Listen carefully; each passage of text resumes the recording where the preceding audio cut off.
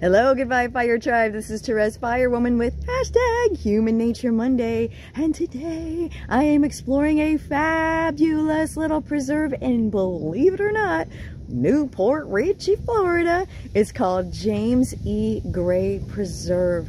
And there are fabulous little ball. Blah, blah, blah, yes I need a new mouth today. I, I evidently attempted to film something just a moment or two ago and the same kind of craziness happened. but anyway, it's cool place. It's got boardwalks. It's got waterways. It's connected to a river. You can see manatees here at the right time of year. Look at this.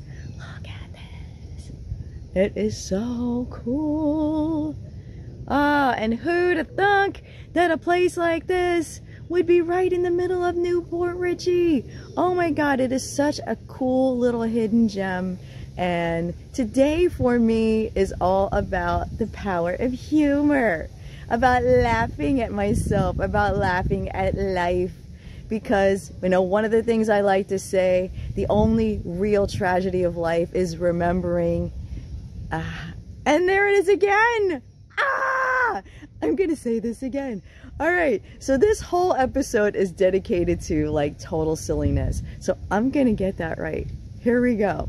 So, and I'm not editing any of this so you guys can see like the real deal stuff. Okay, so the only real tragedy of life is forgetting it was meant to be a comedy.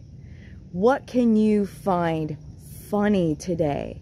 What can you find in your life that is totally worth laughing? Like what looks like a sitcom to you? What looks ridiculous? What, when you really take a look at the big picture, is absolutely laugh worthy? Insert some laughter in your life today. Like get online and find some comedians, find some fun shows instead of things that are really heavy and really serious find something that's light and funny. Hopefully all my goofy little shenanigans made you giggle at least a little bit today.